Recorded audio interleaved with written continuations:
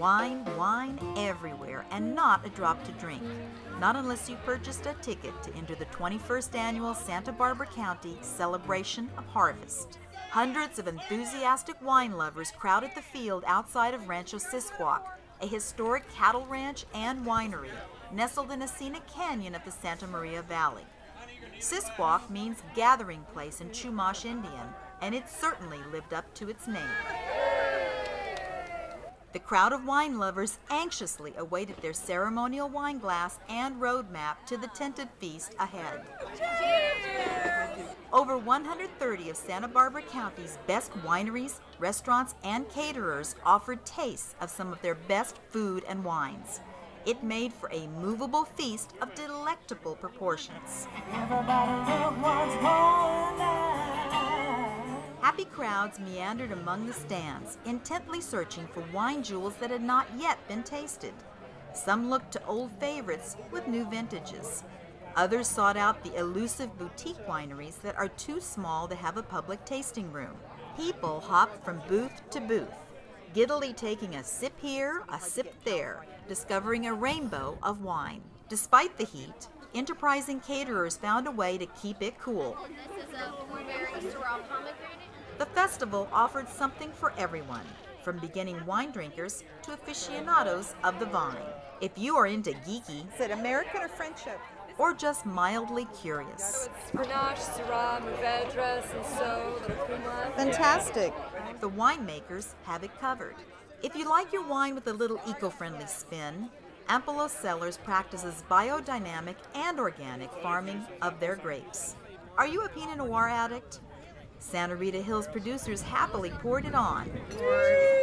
From Fiddlehead Cellars with enthusiastic commentary by head fiddle Kathy Joseph to Prodigal Wines, a small, family run artisan winery. All invited attendees to taste their new releases. Is Chardonnay more your game? Many Pinot producers also make Chardonnay, since both grapes like cool climates.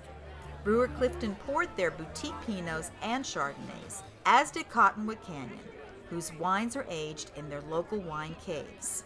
Stolpman Vineyards displayed their finesse with Syrah, their Hilltop Syrah a definite crowd pleaser. Beckman also showed their Syrah skill with their Purisima Mountain Vineyard fruit. All in all, the passion and commitment of the winemakers who crafted these estate wines was infectious. Wine tips were shared, as in how to open a wine bottle with a wax seal. Easy once you've seen it done. I have been making myself crazy trying to take the wax off. There were plenty of distractions from the pursuit of wine.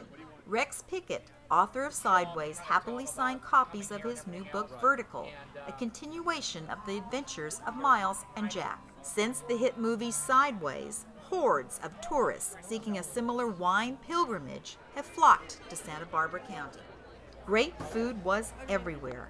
Small plates were greedily scooped up from Root 246 to local Italian icon Trattoria Grappolo.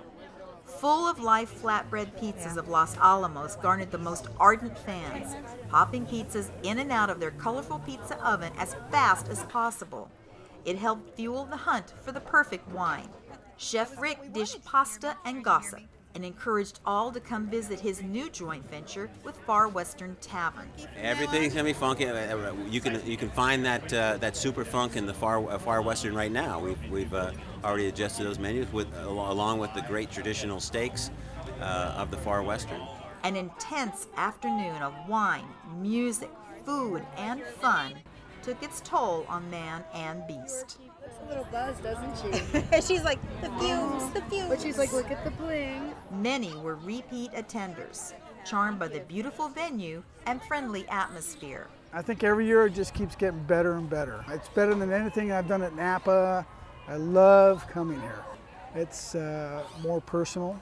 It's just a better venue. As the afternoon wound down, some walked away with a must buy wine list, some with vines in hand and dreams of winemaking, but all happy to have come to this special place in celebration of another year's harvest.